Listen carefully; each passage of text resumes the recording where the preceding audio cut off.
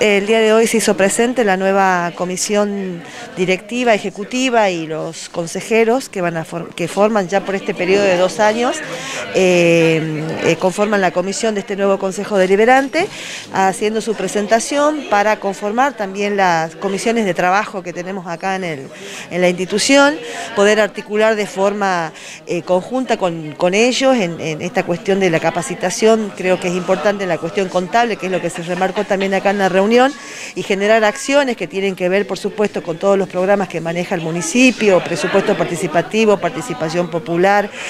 padrinazgo. Yo creo que están trabajando en la temática de ambiente y el tema de violencia de género, así que bueno, en ese sentido todo nuestro apoyo de acá, desde el Consejo, para, para ellos. Hemos venido convocados por todo el cuerpo de concejales, a la comisión del Consejo Vecinal, en el cual, bueno, siempre nos, nos brindaron las puertas abiertas para poder trabajar en conjunto, aportar a los proyectos que tienen acá en las comisiones, en participar y bueno, apoyarnos en todas las actividades que, que vamos desarrollando ahora en esta gestión que estamos empezando. Agradecerles a ellos y decirles de que estamos a disposición cada concejal para poder recepcionar tanto las demandas como proyectos también y que sigamos trabajando hasta cuanto dure la, la, la presidencia de ese Consejo Vecinales.